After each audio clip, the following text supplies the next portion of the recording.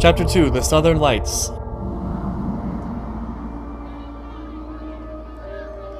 It's cool how much the Southern tribe has developed. That occurred to me later after watching the last episode. I'm pumped up to learn that Unalak spirit fighting. I'm not here to teach you to fight spirits. I'm here to help you begin your spiritual training. Oh, Korra. You're gonna train me at the South Pole? Can we go penguin We penguin will do sledding? more than just train. By neglecting the spirits, the people of the South have brought darkness upon themselves. And now it threatens to destroy our tribe.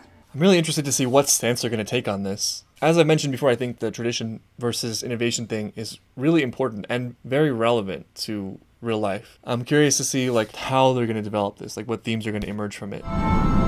There it is, the Southern Air Temple. I hope that Tenzin gets some spiritual closure himself because there's some things that he has to deal with. He's not like quite a master yet. I feel. I don't know. Tonraq, what do you want? I heard you're taking Korra to the South Pole. She needs someone to watch after her. Dad, why do you always think you know what's best for me? Because he's misguided. He's ignored my warnings in the past and hasn't learned since. What happened in the past? Yeah, what happened in the past?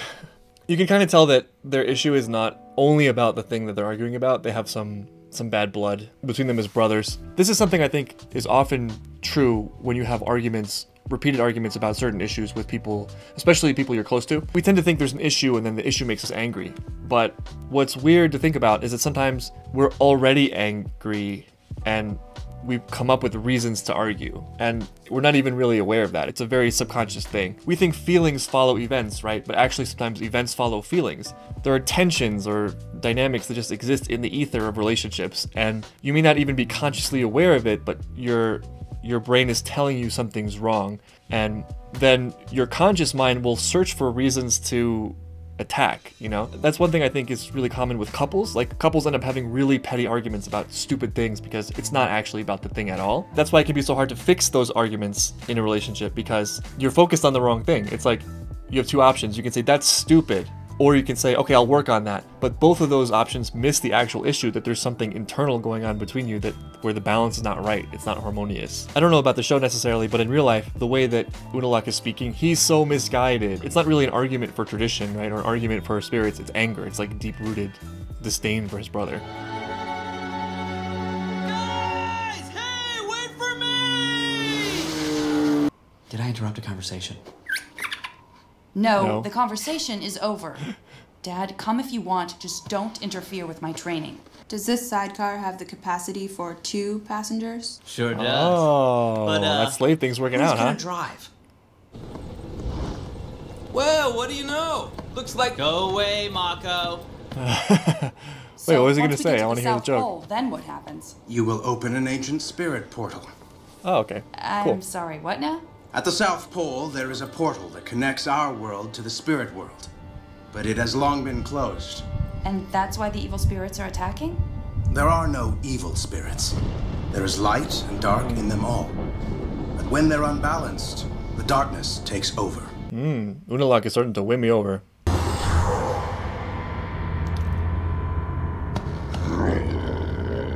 Naga continues to be clutch. What are those? Dark spirits. This reminds me of Princess Mononoke, which is one of my favorite movies. It's a great touch that Unalak says there are no good or evil spirits. It's a nice way of connecting the spirit world to the human world, you know? I think spirits are representations of primal things that are so deeply engraved in us as instincts that it's hard to look at them directly.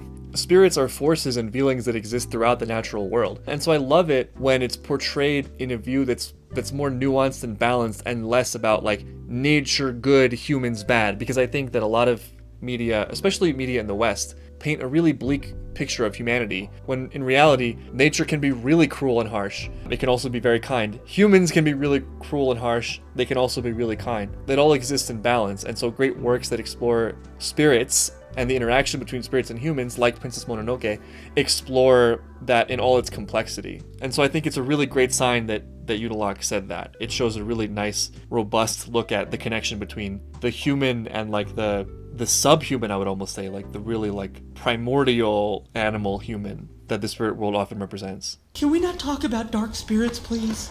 Don't worry, I will protect you, my feeble turtle duck. I'm really hearing the Aubrey Plaza now. The spirits are angry because he's here. Haven't you ever wondered how your father ended up in the South Pole? You should have told her a long time ago. Told me what? I left the North Pole because because I almost destroyed the entire tribe. Hmm, that's what do you do. Brother, we're being attacked. I drove them out of the city and deep into the frozen tundra. By another water tribe? What the heck? It's such a disgrace, you know, like a hundred years after this horrible war, you know, just a couple of generations, you have this petty infighting. We tracked them deep into an ancient forest. Many believed this forest was the home to spirits.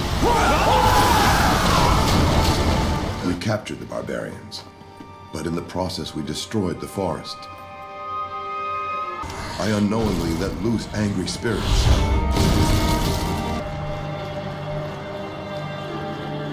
So he's always been good at it. Unalak. Unalak was able to guide the spirits back to the forest. But by then, the damage had been done. My father banished me from the Northern Water Tribe in shame. Seems like they just made a scapegoat out of him.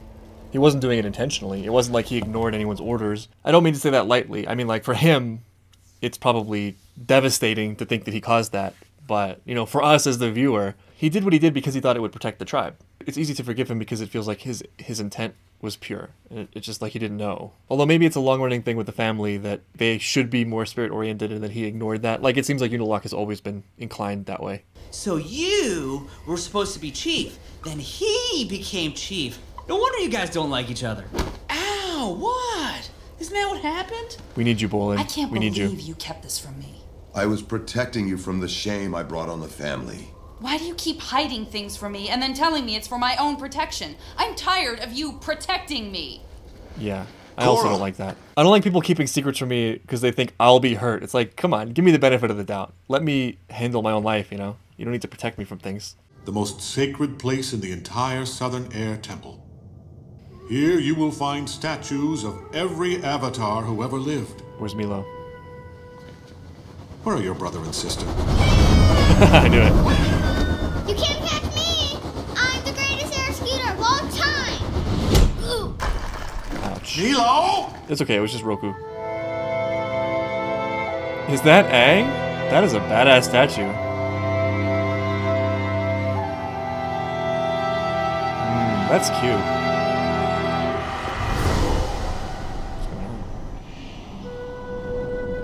Oh, she has some like special gifts. Why did that scene resonate with me so strongly? There's a magical moment you can have sometimes when you connect with things that are way bigger than yourself. I feel that way sometimes like in the summer if you end up in, in the countryside and you look up at the stars and it feels like they're like falling down on you and you just for like a second feel like your total insignificance. There's something about that that is relevant to ancestry as well. It's like the spirits of people who were there before you. They are more connected than is immediately obvious. You literally are them in a very real physical sense and you're living the legacy that they created. So for her looking at Aang, I mean, what a feeling that must be. Not only is it her grandfather and her the cause of her her existence and her family's existence, but like the world's existence. And he's a part of her, you know. She can never separate Aang from herself.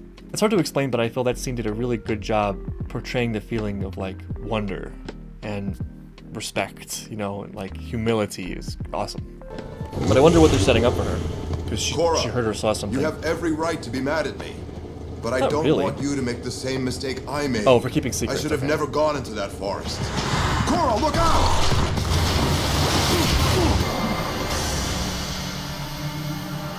Is everyone okay? I can't stop I love how their faces are so calm. It's I'll great. save you. Oh wow. I'm a raft! That was awesome. That was less awesome. Alright, very graceful. There goes our equipment. Right. Now what are we supposed to do? There's only one thing to do. Turn back. We have to turn back. No. No. We've come too far now. tonight. We're so close. From here, you're on your own. But I don't have any connection with the spirits. In fact, it seems like they hate me. You have to believe in yourself. Like I believe hard. in you. How do you believe in yourself if you have no no evidence you can do it, right? Like it's tricky. It's hard to believe in yourself just in a vacuum. You have to start some somewhere with something. It's a lot of trust he's placing in her. I guess I'm just so used to people telling me how to do things that I forgot what it was like to have someone trust in me. Korra, all the past avatars live on inside of you. Let them guide you. Yeah, well, I guess you gotta start somewhere. I guess this is it. Sometimes if you got nothing, you just gotta do it. The spirit portal.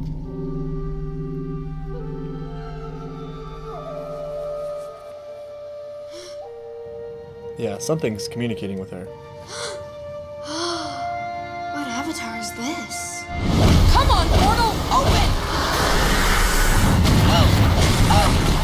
It's not the way, obviously.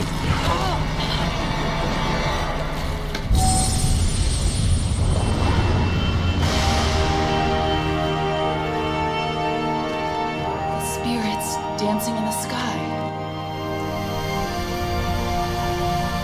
What's the connection to the Avatar? The past Avatar? There's an- another story here, I guess? Awesome. Korra's back!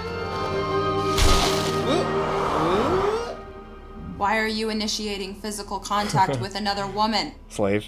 I feel like the relationship would be a lot better if her brother wasn't always around. That's weird. What the heck? More infighting? Who is it? What are all your northern troops doing here? Opening the spirit portal was only the first step in getting the Southern Water Tribe back on its righteous path. There's more difficult work to be done before our two tribes are truly united. Oh no.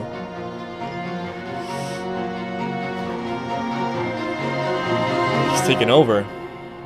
Damn.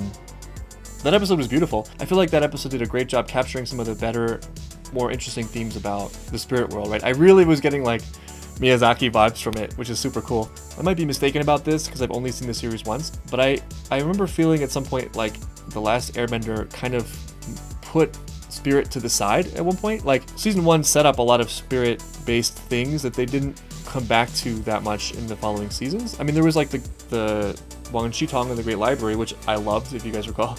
But I don't remember much else from the spirit world in seasons two and three. But there's a lot of potential there, and yeah, I guess this season is going to focus heavily on that. I mean, that is the name of the book, right? It's called Spirit. Yeah, Spirits. So I think with the season dedicated to that, there's a lot of interesting things you can do. There's a lot to draw on there. So far, so good for season two, I'd say. All right, that's it for this one. I'll see you for episode three.